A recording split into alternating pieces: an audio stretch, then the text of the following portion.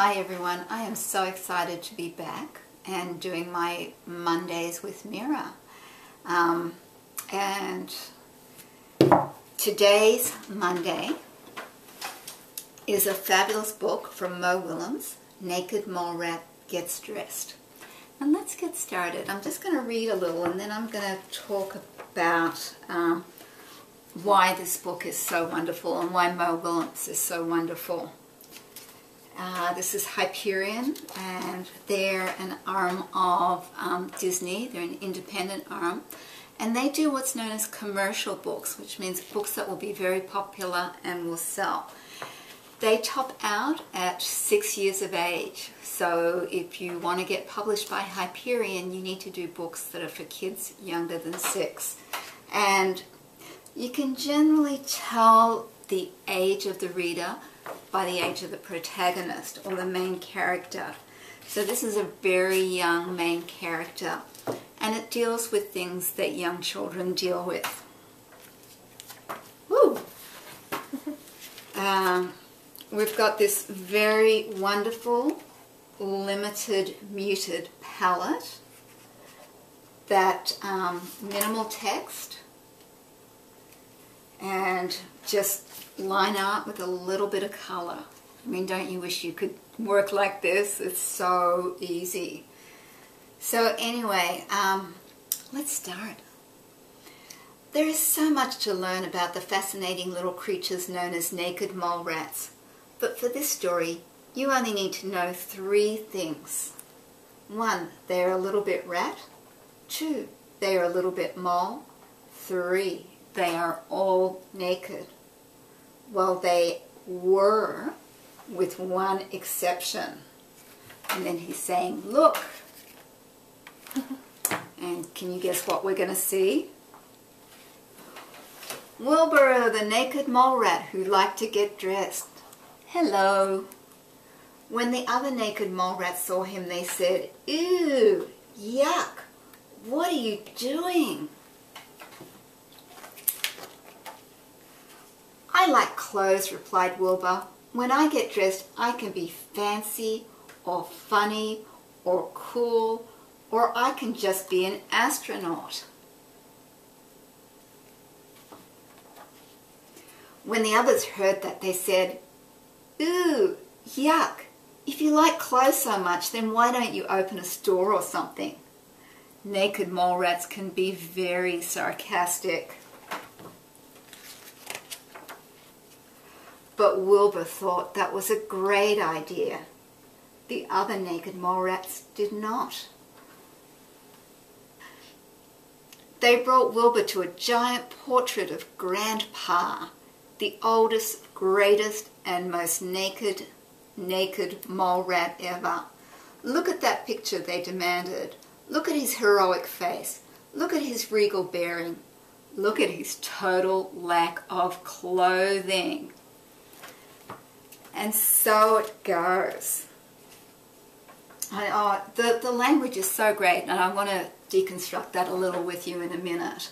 Um, so let me just read a tiny bit more. Grandpa did look heroic. Grandpa did look regal, but he would also look heroic and regal in a casual shirt and some summer slacks. Ugh, said the other naked mole rats. Don't you get it? Naked mole rats don't wear clothes. I'm pretty unhappy. So I don't want to give it all away. Um, it builds, oh, and he says, why not? Why not us, Wilbur? Something had to be done. So I don't want to give it all away because I, I think this is a great mentor text to look at, a great book for writers to buy and really read it, underline things, count how many words there are, do all that great stuff that you can do with a mentor text.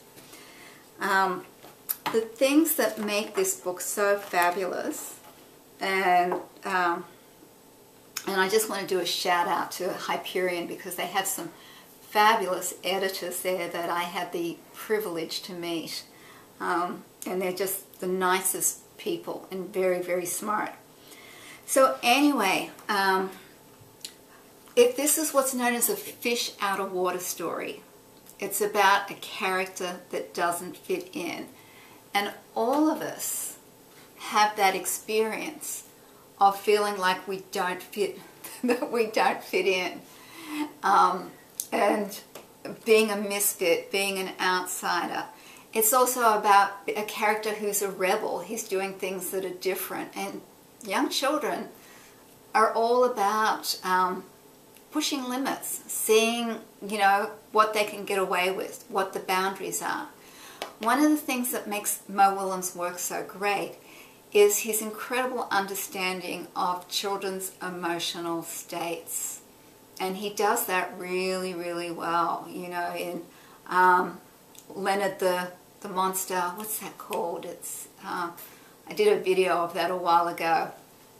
And, you know, Don't Let the Pigeon Drive the Bus, which is another sort of rebellious story about a creature who wants to do stuff that he's not really supposed to be doing.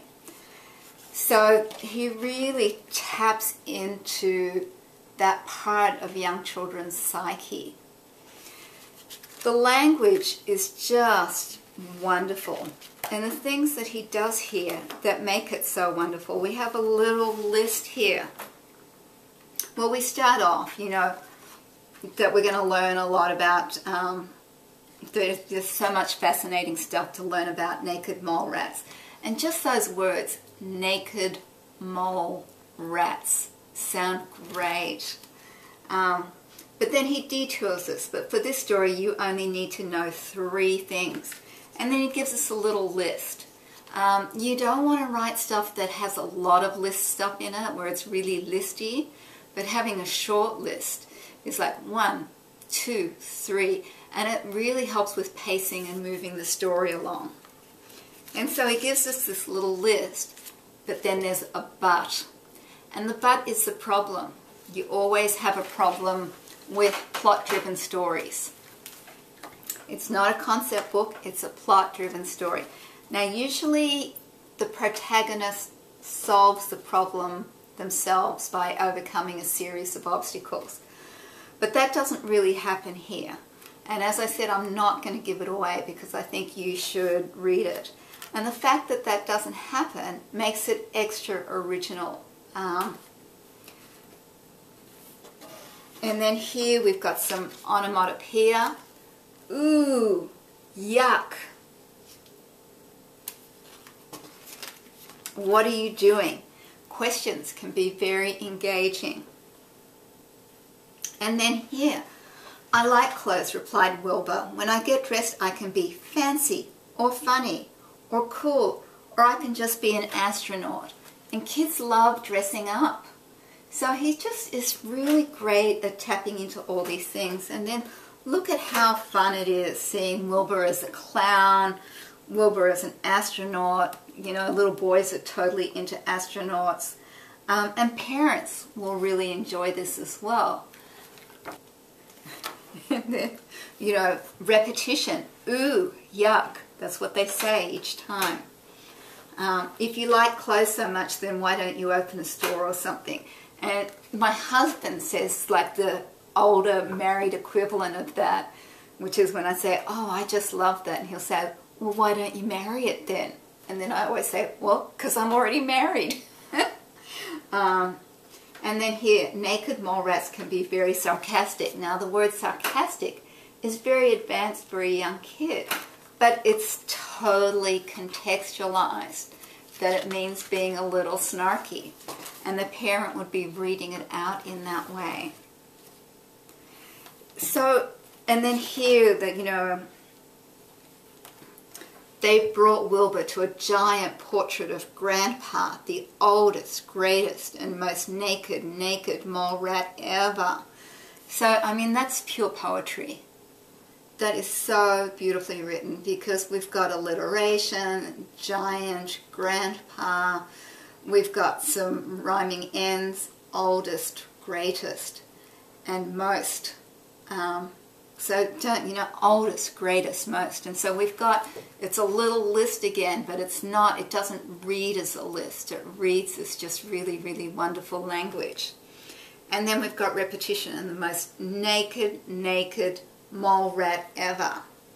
Um, and it's not one of the most naked mole rats ever. It's most naked.